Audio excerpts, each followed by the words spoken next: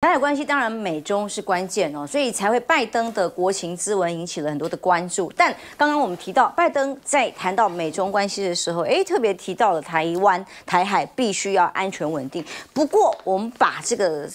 谈话的比例用图来分析的时候，就一眼看得出来，到底用最多词的是什么。然后包括以哈冲突啊、移民啊、经济啊，就连堕胎罪啊，都比我们他在讲到中国的时候出现的词还要多。中国的比例算是最小的，只有一分多钟。那。发表这一场第三次国情咨文，也是今年最后一场的演说，超过一个小时。大家关注也是因为影响了他接下来的重要的选情。这个国情咨文里面就特别说要跟中国来竞争。外交部，中国的外交部回应了，他说拜登的说法是希望跟中国竞争，而不是冲突哦。而美国现在正处于更强的地位，赢得竞争。毛宁的回应是：不管谁担任美国总统，中方始终互相尊重、安平、和平共处、和平合作共赢的原则是一样的，要这样来处理中美关系。但显然现在很难真的这么的和平理性，很多的攻击跟冲突性的语言越来越多。例如，就连中国大陆的这个法国的驻大使卢沙也都讲得很硬哦。他说是战狼来了吗？哦，大国要有大国的样子，已经成为中国是一个大国了，是一个大象，一头大象了，不可能再躲在树后面。所以韬光养晦是邓小平一九九年那个时代可以提啊，冷静观察了，稳住阵脚。现在已经没办法了，韬光养晦已经韬不了光，养不了晦了吗？这种。鹰派的言论一定也在中国大陆内部越来越抬头，而中国大陆做了一系列的动作里，要对抗美中冲突里头，包括了删除美国这个行动，叫做一个 Delete A 的行动，是什么呢？从现一直二零二年开始的，就要求暗中发布的这份文件被曝光了，说是七十九号文件，要求中国。内部包括金融啊、能源啊各方面的国有企业都限期在二零二七年前要汰换 IT 系统，有外国软体，通通要杀掉，杀光光外国软体，尤其是美国方面的影响。对于这些企业的心理的感受是什么？就是不想制造啊，怕什么？就是怕是不是真的完全脱钩，甚至有更高的冲突在其中。而目前据说这个指令实施到现在，根据报道的话，已经见到成效，delete 差不多了啦哦。然后接下来呢，两边 delete 越来越多，越没有更多的善意的时候，美国国会两党更是现在选举期间啊，要以禁 TikTok 啊来。做强硬的一个做法哦，拜登还特别回应说，只要国会这里通过了提案，那他就会签署，因为。出在美国使用 TikTok 的人数一点七亿的这个用户权益会被影响啊，要求字节跳动这家公司的六十五一百六十五天要必须出售，让其他的公司来接手。母公司不出售的话，就要全面禁用。当然，呃，也引起了一些反制的消费者行为，包括抖音啊，也向用户推播通知，以白色大字黑底这样子的一个做法写停止关闭 Stop 啊，停止关闭 T。TikTok 现在要发生的这样的文字，鼓励用户去致电给国会反对这样的法案。那么果然，这个众议员盖拉格就办公室涌入了很多接不完民众的澄清电话，抗议啊，要求啊，不可以这样做，有没有用呢？在美国的这个民主国会的运作方式有用吗？但说现在惊喜大不同的一个人是谁？川普现在在呼声很高，接下来竞选连任、竞选的挑战里头，所以他却跳出来捍卫 TikTok，哎，这很难得。过去他也是抗中的。但是他说啊，如果干掉抖音，那脸书跟主客博的业务就会翻倍哦，因为可能上次大选脸书对他很不利吧，所以他不希望上次选举当中作弊的脸书会做得更好。他说，脸书才是美国真正的敌人啊！可能大家在盘算这些政治资源的时候，先想的是自己的利益，这也是必然。亮哥，所以美国对于中国现在的态度哦，现在拜登显然。还希望呃，希望在稳定当中控制来选举当中是他的战略嘛？我上你那个第一张图就看出他那个国情咨文啊，几个大主题啦啊，那大概也是跟川普有分歧的，就是这些大主题，比如说民主，那就是在强调它有价值嘛，川普没有价值嘛，对不对？那以色列，以色列大概是民民主共和共同的主题啦。那堕胎权就是民主党要坚持的，那反移民就是共和党要坚持的啊。事实上，大概目前两个党主要的争执议题就是经济啊，然后乌克兰移民战战争，还有移民。那反中坦白讲，两个党都差不多了，啊，所以所以基本上就是拜登不能示弱，所以你才会看到 TikTok 这种议题又浮上来了啊。那他知道直接去进啊，那美国最高法院可能不会同意了，你没有这个资权利，你要有证据啊啊，所以他现在就转了一个方向，要求北京的母公司要把股权卖掉。那北京母公司目前占 TikTok 的比重啊，估估我估计至少还有七成，啊，因为他前一阵子在跟那个美国像 Cisco 啦，在合作的过程中当中有转移部分的股权给美国的公司啦，可是绝大部分股权还是在北京的手里啊，就是字节跳动这家公司啊。坦白讲，这个也有宪法的争议啦，你凭什么叫一家公司要卖出它的股权呢、侵害私人的产业啊，，除非你有证据吧，是。说他做了某些事嘛，不然坦坦白讲也是可以提告啦。宪法是保障他们不，因为这个议题在川普二零二零年、二零一九那时候就搞过一次，嗯。那结果没有结果啊，因为我是觉得一定会有一些法律界的人出来帮 TikTok 的忙啊，就是说，哎，你没有证据，你凭什么立这样的法啊？所以这个还有的搞啦，而且因为使用 TikTok 美国人啊啊，然后用这个来赚到钱的人还不少哦因为他也用这个来带货啊，嗯。实际上，现在中国抖音主要是一个带货的平台啦。说实在，你如果去看看过中国的，你就知道了，它跟 TikTok 还不太一样。TikTok 是以个人的节目为主嘛，对不对？可是也有一些人开始用带货了，所以你也会得罪蛮多一些个人的小公司啦，他就赚到一些小钱嘛啊。所以我觉得这个议题还有得走了。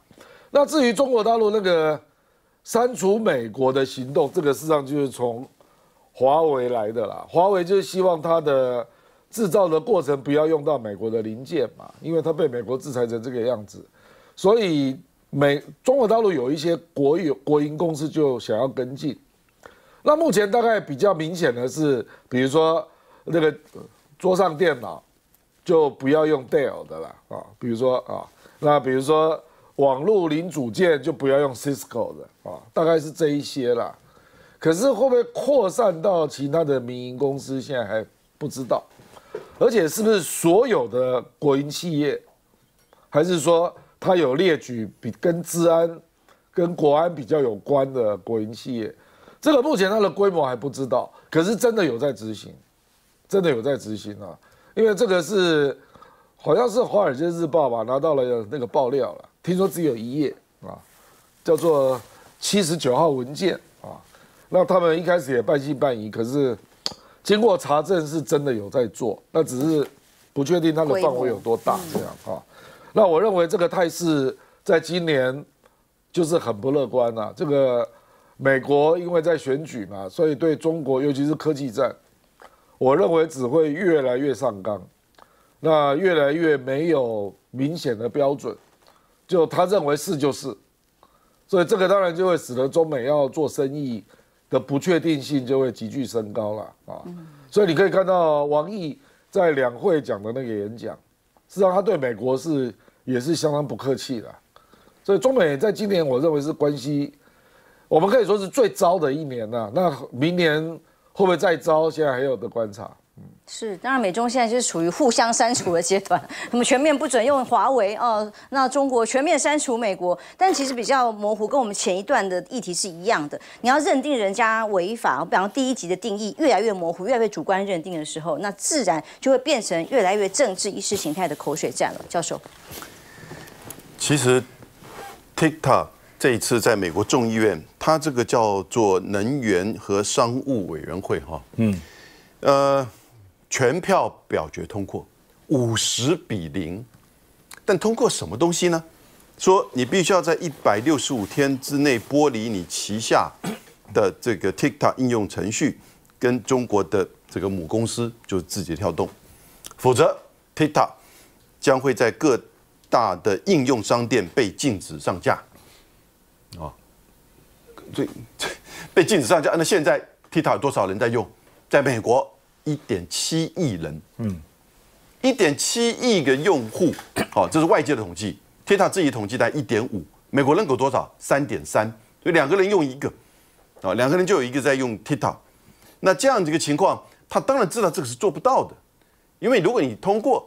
你要到院会通过，你参议院要通过，你拜登要签字，然后你可以把它告上法院，all the way 可以到最高法院，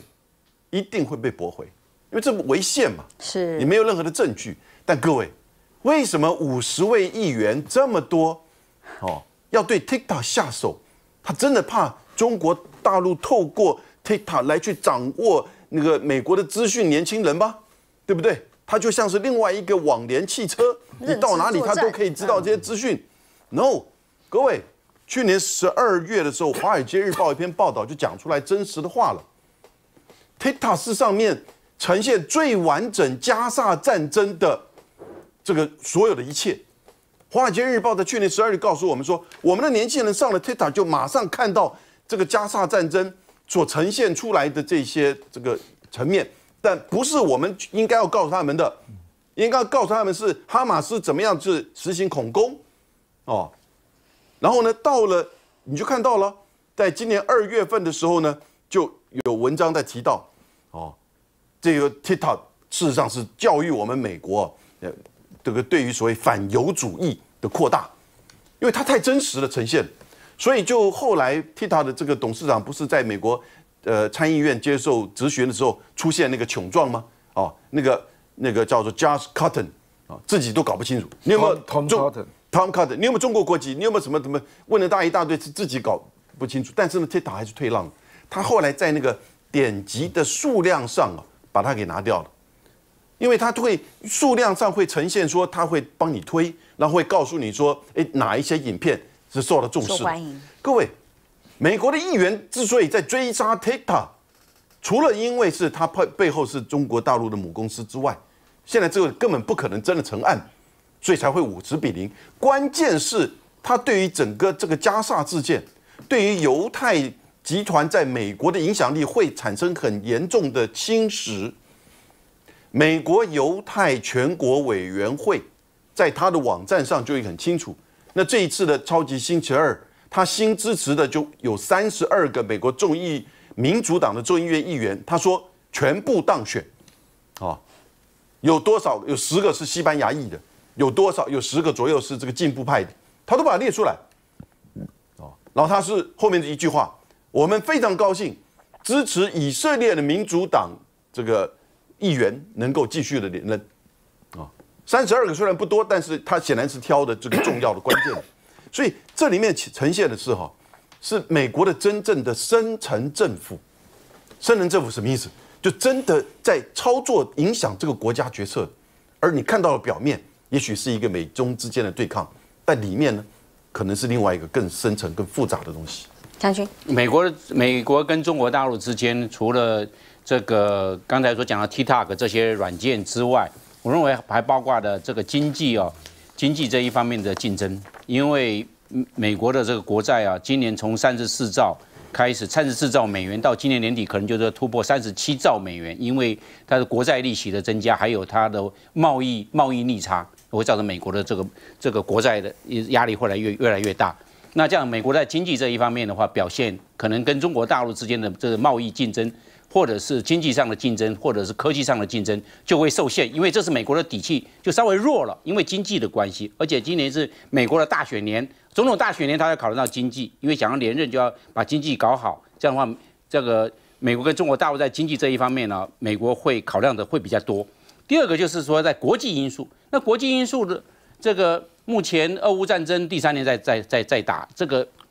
这个以巴冲突，美国已经动用了三次否决权了，要以以色列这个停停战动用了三次否决权，所以我们可以看得出来，美国在这一方面的压力也是蛮大的，而且还包括红海的、也门的胡塞组织，还摧毁了这个油货轮、滚装货轮。都会造成美国在这一方面很大的压力。那这样的话，跟中国在这一方面是不是有时候除了竞争之外，不要忘了会有合作？我的认为是这样子。为什么？因为毕竟中国大陆的这个它是安理会的常任理事国，它有这方面的影响力。那最重要的，我们回到我们讲到回到军事这一方面，回到军事这一方面，美国的占全世界的军火市场占百分之四十，